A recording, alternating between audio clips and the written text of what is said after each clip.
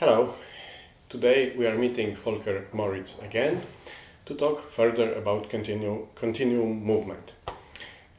And after the last interview, after talking about the history of this method mm, and some aspects mm, of, of it, uh, I'd like to talk about the real usefulness of this method. Mhm. For example, releasing emotions. Mhm. So let's start with the emotions. Mhm. Uh, usually, when we work with emotions, we focus on the emotion, we perceive or we are aware of the reaction of the body. Mhm. Sometimes we clench the muscles, and then we breathe and release. Mhm. So, how it goes with continuum movement?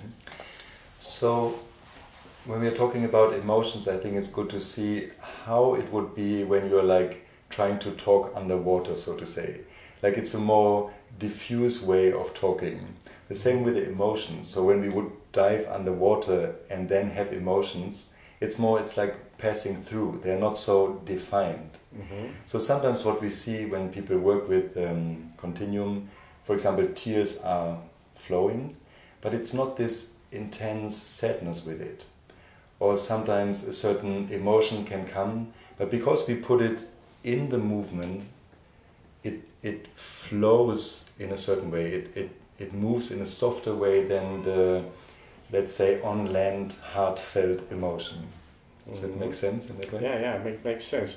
So it's like um, something between the Chinese methods of um, working with the energy, like Tai Chi, Qigong, where people um, move Mhm. according to their flow of prana or Mhm. Qi,